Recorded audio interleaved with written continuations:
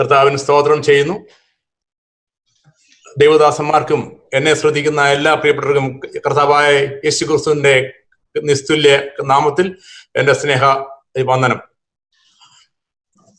എന്റെ ഉള്ളിലെ ഒരു ചെറിയൊരു സന്ദേശം ദൈവത്തിന്റെ ആത്മാവ് എന്റെ ഉള്ളിൽ തന്നു. ഇന്നലെ തന്നതല്ല ഇന്ന് ഇന്ന് തന്നതല്ല. ചില ആഴ്ചകളായിട്ട് എന്റെ എനിക്ക് കിട്ടിയ ഒരു ചെറിയൊരു മെസ്സേജ് ഉണ്ട്. അതിനെ ഞാൻ കുറച്ചുകൂടെ ഒക്കെ പഠിച്ചു.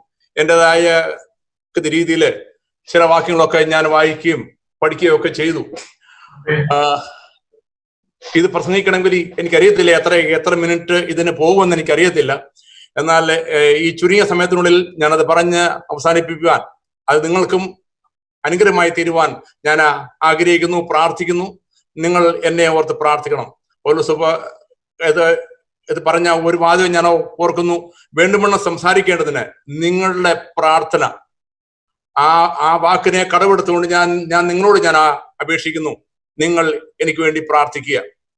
സ്തോത്രം. പാഷ നമ്മുടെ വിൽസം പാഷ പണ്ടൊരിക്കൽ അപ്പച്ചനെ പറ്റി ഒരു ചരിത്രം പറഞ്ഞപ്പോൾ ഇങ്ങനെ പറഞ്ഞു. അമേരിക്കയിലോ ആഫ്രിക്കയിലോ ആണെന്ന് തോന്നുന്നു ആ സ്ഥലത്ത് ചെന്നപ്പോൾ ചില മിനിറ്റ് മാത്രം അദ്ദേഹത്തിന് പ്രസംഗിക്കാൻ കൊടുത്തു. എന്നാൽ ആ പ്രസംഗത്തിന്റെ ഇടയ്ക്ക് വീണ്ടും വീണ്ടും കുറിപ്പ് കൊടുത്തു അല്പം കൂടെ സമയം എടുത്തോളാൻ അങ്ങനെ എടുത്തെടുത്ത് ഏതാണ്ട് ഒരു മണിക്കൂറോളം അദ്ദേഹത്തിന് പ്രസംഗിക്കാൻ അന്ന് കണ്ടിന്യൂ ചെയ്ത് അങ്ങനെ സമയം കിട്ടിയെന്ന് അദ്ദേഹം പറഞ്ഞ് ഞാൻ ഇപ്പോൾ ഞാനത് ഓർക്കുന്നു. അങ്ങനെ കിട്ടുകയായിരുന്നെങ്കിൽ എത്ര നന്നായിരുന്നു എന്ന് ഞാനും വിചാരിക്കുന്നു. സ്തോത്രം. സ്തോത്രം. എല്ലാവരുടെയും പ്രാർത്ഥനയ്ക്കായി ഞാൻ അപേക്ഷിച്ചുകൊണ്ട് എനിക്ക് ദൈവം തന്ന ചെറിയ ആലോചനയിലെ ആ വാക്യത്തിലേക്ക് ഞാൻ കിടക്കുകയാണ്. ഏറ്റവും സുപരിചിതമായ ഒരു വാക്യമാണ്. ഈ വാക്യം വായിക്കുമ്പോൾ നിങ്ങൾ എല്ലാവരുടെ ഉള്ളിലും ഒരു ചിന്ത പെട്ടെന്നുണ്ടാകും. ഈ വാക്യം ഞങ്ങൾ എത്രയോ പ്രാവശ്യം ഞങ്ങൾ ഞങ്ങൾ കേട്ടിരിക്കുന്നു. എന്ന. യാക്കോബ് അപ്പോസ്റ്റലിന്റെ അതിന്റെ യാക്കോബിന്റെ ലേഖനം അഞ്ചാം അധ്യായം അതിന്റെ പതിനേഴാം വാക്യം. ഇത് പറഞ്ഞപ്പോൾ തന്നെ വാക്യം ഏതാണെന്ന് എല്ലാവരുടെയും ഉള്ളിൽ തന്നെ വന്നു. ഏലിയാവ് നമുക്ക് സമസ്വഭാവമുള്ള മനുഷ്യൻ ആയിരുന്നു. ഏലിയാവ് നമുക്ക് സമസ്വഭാവമുള്ള മനുഷ്യനായിരുന്നു. ഏലിയാവാണ് എന്റെ പ്രസക്തമായ കഥാപാത്രം. സ്തോത്രം. ഈ കഥാപാത്രത്തെ ഉച്ചരി ഇത് ഉദ്ധരിച്ചുകൊണ്ട് ഈ വാക്യത്തിൽ തന്നെ ഉള്ള വ്യാഖ്യാനങ്ങൾ ഞാൻ പലത് കേട്ടിട്ടുണ്ട്. സമസ്വഭാവമുള്ളെന്ന് പറയുമ്പോൾ പലരും കേട്ടിട്ടുണ്ട് ഏലിയാവിന് ഈ വിശന്നു നമുക്കും വിശക്കുന്നു. അവന് സങ്കടമുണ്ട് ദുഃഖമുണ്ട്. അവന് അവന് ക്ഷീണമുണ്ട്. അത് മനുഷ്യ സഹജമായി എല്ലാവർക്കും ഉണ്ട്. അതേപോലാണെന്നുള്ള ഒരു ചില ചില വ്യാഖ്യാനങ്ങൾ കേട്ടിട്ടുണ്ട്. സ്തോത്രം. എന്നാൽ ഒരു വ്യത്യസ്തമായ ഒരു അഭിപ്രായമാണ് എനിക്ക് ഈ വാക്യത്തിൽ നിന്ന് നിങ്ങളോട് ദൈവം തന്ന ആലോചന ഷെയർ ചെയ്യുവാൻ എന്റെ കയ്യിലുള്ളത്. സ്തോത്രം. ഇവിടെ പറയുന്നത് അപ്പോസ്റ്റലായ യാക്കോവാണ് പറഞ്ഞിരിക്കുന്നത് ഏലിയാവ് നമുക്ക് സമസ്വഭാവമുള്ള മനുഷ്യൻ. ഈ യാക്കോബിന്റെ ലേഖനത്തെ കുറിച്ച് പറയുന്നത് പുതിയ നിയമത്തിലെ പുതിയ നിയമത്തിലെ സദൃശ്യവാക്യങ്ങൾ എന്നാണ് അറിയ അറിയപ്പെടുന്നത്. സ്തോത്രം. അത്രമാത്രം വിലപ്പെട്ടതായ അത്രമാത്രം വളരെ പ്രധാനമേറിയ പ്രാധാന്യമേറിയ വാക്കുകളെ കൊണ്ട് കോർത്തിണക്കിയ ഒരു ഒരു പുസ്തക ഒരു പുസ്തകമാണ് അഞ്ച് അധ്യായമുള്ള ഒരു പുസ്തകമാണ്. സ്തോത്രം. നമുക്കറിയാം ഒരു മനുഷ്യനായി പിറന്ന എല്ലാവർക്കും ദുഃഖവും പ്രയാസവും ഈ വിശപ്പും ക്ഷീണവും എല്ലാവർക്കും ഉണ്ടാവും. അത് ഏലിയാവിനും ഉണ്ടാവും യാക്കോബിനും ഉണ്ടാവും ഇന്ന് ജീവിക്കുന്ന നമുക്ക് എല്ലാവർക്കും ഉണ്ടാവും. നമ്മൾ ചിലർ പറയും ഈ കാലഘട്ടത്തിൽ ഞാനും അദ്ദേഹവും ഒരേ സമപ്രായക്കാരാണെന്ന് പറയും. എന്ന് പറഞ്ഞാൽ എന്റെ പ്രായക്കാരനാണ്. എന്ന് ഒരു പക്ഷെങ്കിൽ മരണത്തോടെ ബന്ധപ്പെട്ടോ അല്ലെ ഒരു നല്ല കാര്യമൊക്കെ ഉണ്ടാകുമ്പോഴോ ഒക്കെ പറയും ഞാനും അദ്ദേഹവും എല്ലാം ഒരേ പ്രായക്കാരാന്ന് പറയും. എന്നാൽ ഇതിൽ നിന്ന് വ്യത്യസ്തമായിട്ട് സമസ്വഭാവം എന്ന് പറയാനായിട്ട് എനിക്ക് ഞാൻ ഏലിയാവിന് സമസ്വഭാവം ഉള്ളതെന്ന് പറയുവാൻ അല്പ പ്രാഗൽഭ്യക്കുറവ് ഉണ്ടാവുമെന്ന് എനിക്ക് തോന്നുന്നു. സ്തോത്രം. ഉദാഹരണം പറഞ്ഞാൽ ഞാൻ പറയുകയാണ് ഞാനും ബിൽസം പാഷും അല്ലെങ്കിൽ ഞാനും റോയ് പാഷും സമസ്വഭാവം എന്ന് പറഞ്ഞാൽ നിങ്ങളിൽ എത്ര പേര് അത് ഉൾക്കൊള്ളും സ്തോത്രം. മാനുഷികമായ നിലയിൽ നമ്മൾ ചിന്തിക്കുമ്പോൾ നമുക്ക് ആ ആ വാക്യം ഉൾക്കൊള്ളാൻ പ്രയാസമാണ്. കാരണം അവരുടെ സ്വഭാവം ബിൽസം പാഷയുടെ സ്വഭാവം റോയ് പാഷയുടെ സ്വഭാവം എന്നിൽ നിന്നും വളരെ വ്യത്യസ്തമാണ്. അപ്പൊ പിന്നെ എങ്ങനെ സമസ്വഭാവം ഉണ്ടാകുന്നത്? അപ്പൊ സമസ്വഭാവം ഉണ്ടാകണമെങ്കിൽ അതിന് പ്രത്യേകത എന്തെങ്കിലും ഉണ്ടാകണം. ഈ പറഞ്ഞ യാക്കോബ് പറയുന്നത് സമസ്വഭാവം ഉള്ളതെന്ന് പറയുമ്പോൾ യാക്കോബിനെ പറ്റി നാം നാം പഠിക്കുമ്പോൾ ചരിത്ര പുസ്തകത്തിൽ നിന്ന് ഞാൻ ഞാൻ കേട്ടത് യാക്കോബിന്റെ കാലുകളെ മുട്ടുകൾ അവൻ മുട്ട് മടക്കി ഇരുന്നിട്ട് ഒട്ടകത്തിന്റെ ശരീരത്തിന് അല്ലെ കാലിന്റെ മുട്ട് പോലൊക്കെ ആയി എന്ന് തരമ്പ് പിടിച്ചു എന്ന് ഉള്ള ചരിത്രം കേട്ടിട്ടുണ്ട്. എന്ന് പറഞ്ഞാൽ ദൈവസ്ഥനയിൽ വിശുദ്ധിക്കും വേർപാടിനു വേണ്ടി നിലകൊള്ളുന്നതായ ഒരു ഒരു യാക്കോബ്. ആ യാക്കോബാണ് പറഞ്ഞത് ഏലിയാവ് നമുക്ക് സമസ്വഭാവം ഉണ്ടെന്ന് പറഞ്ഞത് എന്നാൽ ഇവിടെ പറയുന്ന ഈ ഈ യാക്കോബിനെ പറ്റി പറയുമ്പോൾ യാക്കോബ് പല ഉപദേശങ്ങളും നമുക്ക് തരുന്നുണ്ട്. ഒരുത്തിന് ജ്ഞാനം കുറവാണെങ്കിൽ അവന് അവന് ഔദാര്യമായി കൊടുക്കുന്ന ദൈവത്തിൽ നാം നാം പ്രാപിക്കട്ടെ. സ്തോത്രം. ഏറ്റവും ഏറ്റവും ശുദ്ധവും നിർമ്മലമായ ഭക്തി എന്ന് പറയുന്നത് അനാഥരെയും വിധവമാരെയും അവരുടെ സങ്കടത്തിൽ അവരെ പരിപാലിക്കുക അവരെ കാണുക. സ്തോത്രം. പിന്നെ അങ്ങനെ വളരെ വളരെ വളരെ കാര്യങ്ങൾ ഇതിനകത്ത് യാക്കോബോ ഇതിനകത്ത് പറയുന്നു. സ്തോത്രം. നിങ്ങളുടെ വിശ്വാസം നിങ്ങളുടെ വിശ്വാസം എന്ന് പറയുമ്പോൾ നിങ്ങളുടെ ഭക്തി എന്ന് പറയുമ്പോൾ നിങ്ങളുടെ വിശ്വാസം മാത്രം പോരാ അത് പ്രവൃത്തി കൂടെ കാണിക്കണം.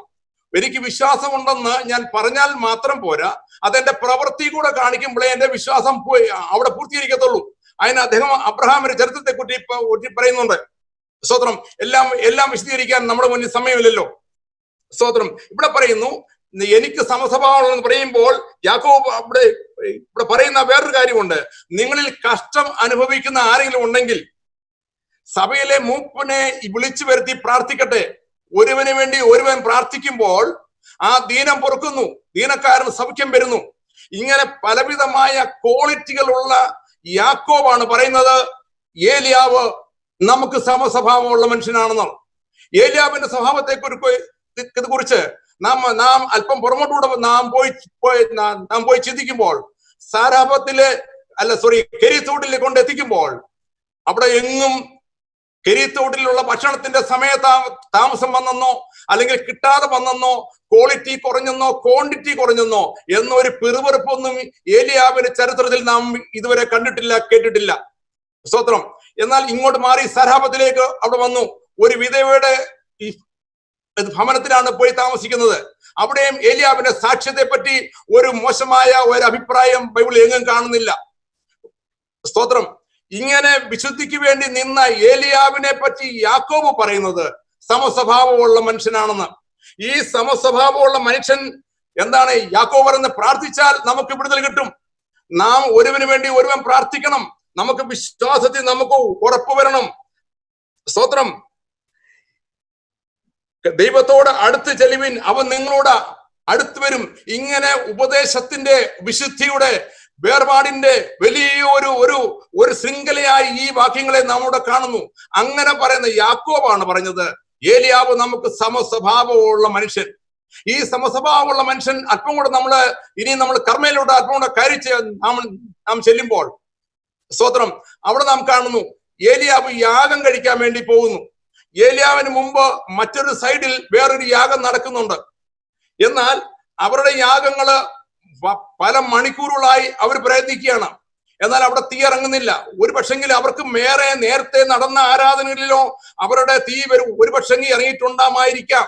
അതുകൊണ്ടാണല്ലോ അവർ തീ ഇറക്കാൻ വേണ്ടി ഇവിടെ വന്നത്. എന്നാൽ എന്തുകൊണ്ട് അവിടെ ഇറങ്ങിയില്ല? ഞാൻ അവിടെ മനസ്സിലാക്കുന്ന വേറൊരു വിഷയം. ഇതിനോട് ബന്ധപ്പെട്ട അല്ലെങ്കിലും ഒരു അഭിഷക്തൻ അവിടെ നിൽക്കുമ്പോൾ അന്യ തീ അന്യ ആരാധനയ്ക്ക് അവിടെ പ്രസക്തിയില്ലെന്നുള്ളതാണ് അവിടെ കാണുന്നത്. ഏലിയാവ് ഇവിടെ മേളിൽ ചെന്നിട്ട് നാം ഇവിടെ കാണുന്നു. എല്ലാവരും പറയുന്നു ഏലിയാബ് രണ്ട് വാക്കുകൊണ്ട് പ്രാർത്ഥിച്ചു എന്ന് പറയുന്നു. ഏലിയാവ് പ്രാർത്ഥിച്ച പ്രാർത്ഥനയ്ക്ക് വളരെ പ്രസക്തിയുണ്ട്. ശരിയാണ് രണ്ട് വാക്യങ്ങൾ കൊണ്ട് ഞാൻ ദൈവം നീ എന്റെ ദൈവമെന്നും ഞാൻ നിന്റെ ദാസനെന്നും ഈ ജനം അറിയ അറിയേണ്ടതിന് നീ ഇവിടെ തീ ഇറക്കണമെന്നാണ് ഏലിയാവിന്റെ പ്രാർത്ഥനയുടെ ഉള്ളടക്കം. എന്നാൽ അതിനു മുമ്പ് ഏലിയാവ് തന്റെ പ്രവൃത്തി കൊണ്ട് പ്രാർത്ഥിച്ച ചില കാര്യങ്ങളുണ്ട്. ഒന്ന് യാഗപീഠങ്ങളെ അവൻ പണിതു. പണിതത് എങ്ങനെ? ചില കല്ലുകൾ കിട്ടിയ കുറെ കല്ലുകളെ പറക്കിയെടുത്തല്ല സ്തോത്രം. ഏലിയാവ് അവിടെ പ്രാർത്ഥിക്കുന്നത് ഗോത്രപിതാക്കന്മാർക്ക് ഒത്തവണ്ണം കല്ലുകളെ എടുത്തു വെച്ചു. ആ കല്ലുകളെ എടുത്തു വെച്ച് പ്രാർത്ഥ അവിടെ അവിടെ യാഗപീഠം പണിതു എന്ന് പറയുമ്പോൾ ഗോത്രപിതാക്കന്മാർക്ക് ഒത്തവണ്ണമുള്ള കല്ല് പന്ത്രണ്ടെണ്ണം അവിടെ നിരത്തിയെങ്കിലും അപ്പോ ഉൽപ്പത്തി പുസ്തകം നാൽപ്പത്തി ഒൻപതാം അധ്യായത്തിൽ ഈ ഗോത്രപിതാക്കന്മാരെ പറ്റി അല്ലെങ്കിൽ മക്കളെ പറ്റി യാക്കോബ് പറയുന്ന വെളിപ്പെടുത്തുന്ന ചില സ്വഭാവ വൈശേഷങ്ങളുണ്ട്. അത് നമ്മൾ കാണുമ്പോൾ നമുക്ക് നമുക്കത് മനസ്സിലാക്കുവാൻ സാധിക്കും. ഒന്ന് രൂപേനെ പറ്റി പറയും എല്ലാം വിശദീകരിക്കാൻ സമയമില്ലല്ലോ. രൂപേനെ പറ്റി പറയുന്നത് വെള്ളം പോലെ തുളുമ്പുന്നവൻ. സ്തോത്രം. അവിടെ യുദ്ധവീരന്മാരുണ്ട്. ഒരു സിംഹം സിംഹം അലറി പിടിക്കുന്നതായ അലറി നടക്കുന്നതായ ഒരു സിംഹത്തിന്റെ സ്വഭാവമുള്ളവൻ. സ്തോത്രം. സർപ്പത്തിന്റെ സ്വഭാവം കാണിക്കുന്നവൻ കവർച്ചയായി നടക്കുന്നവൻ ഒരു കഴുതയുടെ ആ ആ രീതിയിലുള്ള അങ്ങനെ യാക്കോബ് തന്റെ മക്കളെ പറ്റി അല്ലെങ്കിൽ ഗോത്രങ്ങളെ പറ്റി വിശേഷിപ്പിക്കുന്നത് നമുക്കവിടെ കാണുവാൻ സാധിക്കുന്നു. എനിക്ക് അവിടുന്ന് മനസ്സിലായ ഒരു കാര്യം. ഈ ഗോത്രപിതാക്കന്മാർക്ക് ഒത്തവണ ഈ കല്ലുകളെ പെറുക്കി വെച്ചപ്പോൾ ഈ പറയപ്പെടുന്ന സ്വഭാവങ്ങളെ ഏലിയാവ് ക്രമപ്പെടുത്തി എന്നുള്ളത് അവിടെ നമുക്ക് മനസ്സിലാക്കുവാൻ സാധിക്കുന്നുണ്ട്. സ്തോത്രം. ഈ തുളുമ്പി പോകുന്ന അല്ലെങ്കിൽ നേർക്ക് നിൽക്കാത്ത നേരെ നിൽക്കാത്ത അവസ്ഥ ഉണ്ടെങ്കിൽ അല്ലെങ്കിൽ ഒരു ഒരു ഒരു ഒരു കടിച്ചു കീറുന്ന സിംഹത്തിന്റെ ഒരു ഒരു സ്വഭാവം ഉണ്ടെങ്കിൽ ഇതെല്ലാം മാറ്റി ഒതുക്കി ഒരേപോലെ ഒരേ സ്വഭാവത്തോട് കൊണ്ടുവന്ന ഒരു യാഗപുടം പണിതായി നാം കാണുന്നു. ആവർത്തന പുസ്തകം അതിന്റെ അതിന്റെ മുപ്പത്തി ആവർത്തന പുസ്തകത്തിലെ നമ്മൾ നാം കാണുന്നു. അതിന്റെ മുപ്പത്തി മൂന്നാം അധ്യായത്തിൽ മോശ ഗോത്രപിതാക്കന്മാരെ പറ്റി എങ്ങനെ ആയിരിക്കണം എന്നുള്ളതിനെ പറ്റി അവിടെ പ്രതിപാദിച്ചിട്ടുണ്ട്. സ്തോത്രം. എന്റെ എന്റെ ചിന്ത ഈ യാക്കോബ് പറയുന്ന ഈ സ്വഭാവ വ്യത്യാസങ്ങളെല്ലാം ഏലിയാവ് അടുക്കി വ്യത്യാസപ്പെടുത്തി ഇതെല്ലാം ഒരേപോലെ വരുത്തി കൊണ്ടുവന്ന് യാഗപീഠം പണിതപ്പോൾ പിന്നീടത്തെ രണ്ട് രണ്ട് മൂന്ന് വാക്കുകൾ അല്ലെങ്കിൽ വാചകങ്ങളിൽ വാ കൊണ്ട് പ്രാർത്ഥിച്ചപ്പോഴാണ് അവിടെ വിടുതൽ സംഭവിച്ചത്. ഇവിടെ നാം കാണുന്നു ഇത് ഇതേ സ്വഭാവങ്ങൾ എന്ന് പറഞ്ഞാൽ ക്രമീകരിക്കേണ്ട കാര്യങ്ങൾ ക്രമീകരിക്കാതെ നാം പ്രാർത്ഥിക്കുമ്പോൾ അപ്പുറത്ത് നടന്ന പ്രാർത്ഥനയ്ക്കുമായിട്ട് ഒരു വ്യത്യാസമില്ല ബാലിന്റെ പ്രവാചകന്മാര് അവിടെ മണിക്കൂറുകൾ കടന്ന് പ്രാർത്ഥിച്ചു. ആ പ്രാർത്ഥനയും നാം ക്രമീകരിക്കാതെ ഇരുന്ന് പ്രാർത്ഥിക്കുന്ന പ്രാർത്ഥനയും ഒരുപോലെ ആയിരിക്കും. ഇങ്ങനെയുള്ള ചില സവിശേഷതകളെ നമ്മുടെ ജീവിതത്തിൽ ചില- സ്വഭാവങ്ങളെ ഉണ്ടെങ്കിൽ ഇതെല്ലാം മാറ്റി അടുക്കി ലെവലാക്കി കൊണ്ട് നാം ഒരു യാഗപീഠം പണിത്. എന്നിട്ട് നാം നാം അധികം നേരം അധികം വാദ്യങ്ങളെ കൊണ്ട് പ്രാർത്ഥിക്കാതെ നാം ദൈവത്തോട് പ്രാർത്ഥിച്ചാൽ അവിടെ നിൽക്കുന്ന ജനത്തിന് മനസ്സിലാകത്തക്കവണ്ണം അവിടെ ദൈവത്തിന്റെ തീ ഇറങ്ങിയതായി നാം അവിടെ കാണുന്നു. ഇത്രയും സവിശേഷത ഉള്ള ഏലിയാവ്. ഇനിയും നമുക്ക് പറയാൻ പറ്റുമോ? ഞാൻ ഏലിയാവിന് സമസ്വഭാവം ഉള്ളവനാണെന്ന് സ്തോത്രം. ജീവിതത്തിൽ യാക്കോബ് പറഞ്ഞ് യാക്കോബിന്റെ ജീവിതത്തിന് ചില ക്വാളിറ്റികളെ നാം അവിടെ മനസ്സിലാക്കുമ്പോൾ സ്തോത്രം. ആ ക്വാളിറ്റികളെ നാം നാം മനസ്സിലാക്കുമ്പോൾ ആ ക്വാളിറ്റികൾ ഉള്ള ആ അല്പമെങ്കിലും ആ സ്വഭാവം നമ്മളിൽ കാണിച്ചുകൊണ്ട് നമുക്ക് പറയാൻ പറ്റുമോ? ഏലിയാവ് നമുക്ക് സമസ്വഭാവം ഉള്ളവനെന്നല്ല. ഞാൻ ഏലിയാവിന് സമസ്വഭാവം ഉള്ളവനെന്ന് പറയുവാൻ തക്കണം നമ്മുടെ ജീവിതത്തെ ക്രമീകരിക്കാൻ പറ്റുമോ? സ്തോത്രം. അങ്ങനെ നാം നമ്മുടെ ജീവിതത്തെ ക്രമീകരിക്കാൻ പറ്റുന്നെങ്കിൽ എങ്കിൽ മാത്രമേ ഒരു തീയുടെ ഒരു അനുഭവം നമുക്ക് ഉണ്ടാകാൻ പറ്റത്തുള്ളൂ. സ്തോത്രം. കാരണം ജീവിതത്തിന്റെ ക്രമീകരണം എല്ലാം വരണം. യാക്കോബിന് പൂർണ നിശ്ചയമുണ്ട്. ഞാൻ കൈവച്ച് പ്രാർത്ഥിച്ചാൽ ഞാൻ എണ്ണ മൂശി പ്രാർത്ഥിച്ചാൽ ആ രോഗിക്ക് സൗഖ്യം വരും. കാരണം എന്റെ ജീവിതം വിശുദ്ധമാണ്.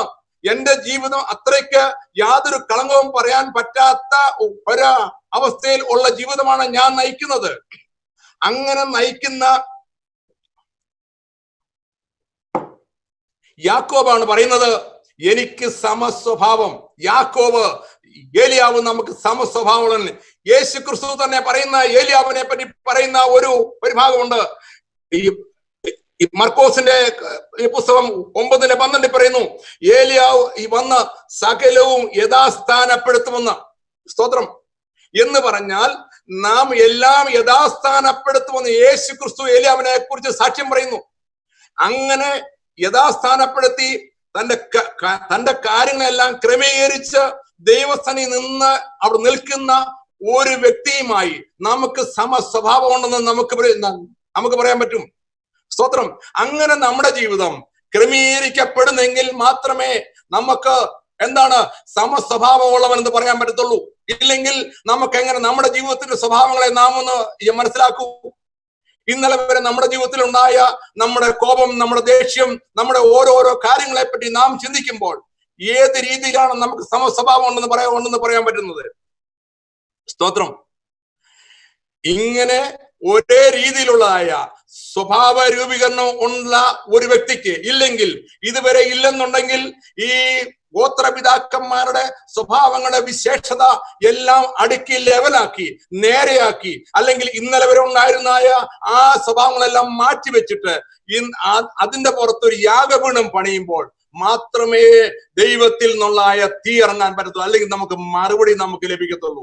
തീ എന്ന് ഉദ്ദേശിക്കുമ്പോൾ നാം ഇന്ന് പ്രാർത്ഥിക്കുന്ന പ്രാർത്ഥനയ്ക്ക് നമുക്ക് മറുപടി നമുക്ക് കിട്ടണമെങ്കിൽ എന്താണ്? നാം സ്വഭാവത്തിന്റെ രൂപീകരണം ദൈവമായിട്ടുള്ളതായ വ്യത്യാസം നാം ഈ അപ്പോസലുമായിട്ടുള്ളതായ ആ ചേർച്ച നമ്മുടെ ജീവിതത്തിൽ ആ സ്വഭാവം നമുക്ക് ഉണ്ടായെങ്കിൽ എങ്കിൽ മാത്രമേ നമുക്ക് സമസ്വഭാവം ഉണ്ടെന്ന് മാത്രം പറയാൻ നമുക്ക് സാധിക്കത്തുള്ളൂ. സ്തോത്രം. ഈ ഈ ദിവസങ്ങളിൽ ആവർത്തന പുസ്തകത്തിൽ പറയുന്ന പോലെ നാം ആ ഗോത്രപിതാക്കന്മാരുടെ നിങ്ങൾ പോയി പിന്നെ പോയി വായിച്ചാൽ മതി. അങ്ങനെയുള്ള വ്യത്യാസങ്ങൾ ആ വരുത്തുന്നതായ ആ രീതിയിലുള്ളതായ ഗോത്രപിതാക്കന്മാരുടെ സ്വഭാവങ്ങളെ മാറ്റി മറിക്കുവാൻ തക്കണം നമ്മുടെ നമ്മുടെ ജീവിതത്തിൽ അങ്ങനെ ഉണ്ടാകട്ടെ എന്ന് ആശംസിക്കുന്നു പ്രാർത്ഥിക്കുന്നു. നിങ്ങൾ എന്നെ ഓർത്തും എന്നെ ഓർത്തും പ്രാർത്ഥിക്കുക. ദൈവം നമ്മളെ ഓരോരുത്തരെ അനുഗ്രഹിക്കുമാറാട്ടെ ഇത്രത്തോളം സമയം അനുഭവിച്ചിരുന്ന ദൈവ ദാസന്മാർക്കും ദൈവസഭയ്ക്കും എന്റെ നന്ദിയെ ഞാൻ അറിയിക്കുന്നു. ദൈവം നമ്മെ സഹായിക്കുമാറാട്ടെ